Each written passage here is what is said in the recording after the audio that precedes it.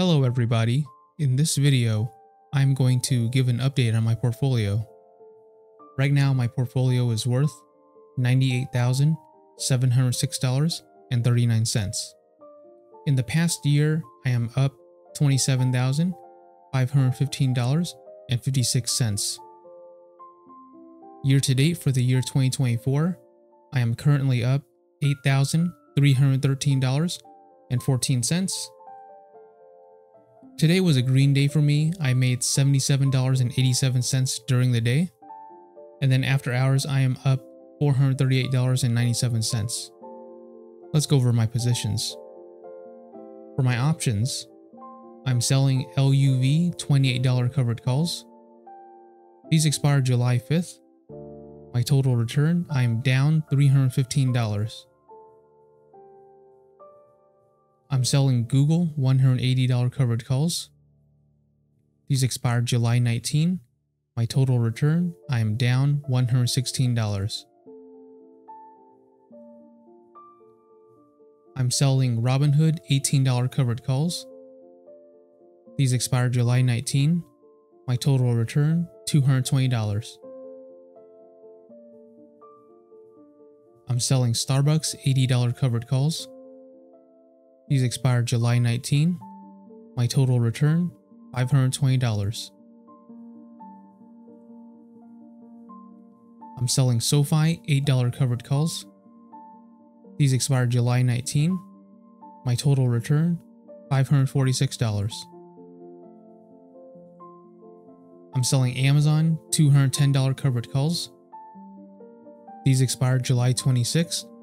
My total return, $93.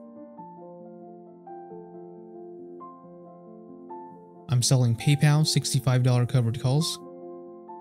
These expire July 26. My total return $46.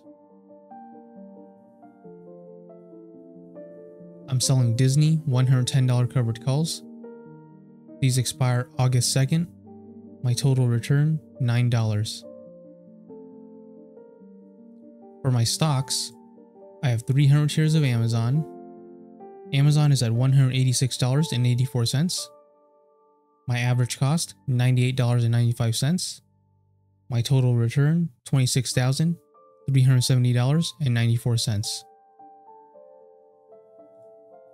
I have 6,000 shares of SoFi. SoFi is at $6.48. My average cost, $5.62. My total return, $5,142 and 60 cents. I have 300 shares of Disney. Disney is at $102.15. My average cost, $60. My total return, $12,645. I have 1,000 shares of Robinhood. Robinhood is at $22.40. My average cost, $17.53.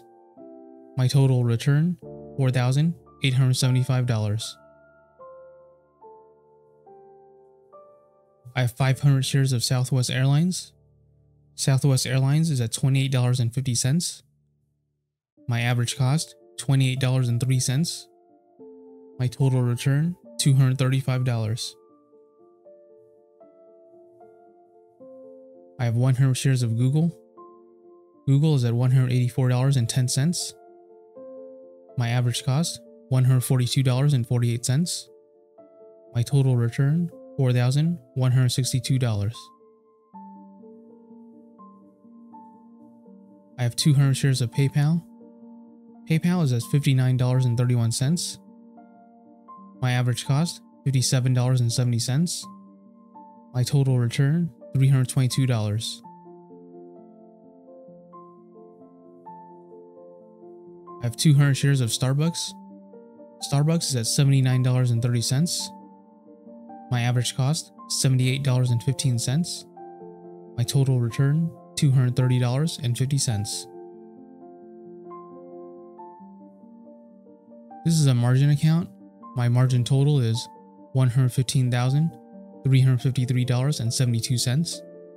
My margin used is $103,022.64. which leaves me with $12,331.08 in buying power. My margin status is low risk. My buffer is $46,456.15. This is how much money I can lose before I get margin called. My annual interest rate is 6.25%. The daily interest I am paying is $17.71, and I am borrowing $1,000 interest free. So another green day, I'm happy about that. Still hovering around 98, $99,000, somewhere around there. So uh, for now, I'm satisfied, but I hope things really do pick up again and I get my portfolio back up to 100k or more. I haven't changed anything today. It's still the same positions I had before. I'm just sitting back and waiting now. Now, unlike before where I had a lot of like different groups of my positions expiring at the same time, now I have like one-off situations. For example, LUV, this is the only covered call I have that expires on July 5th, then nothing else.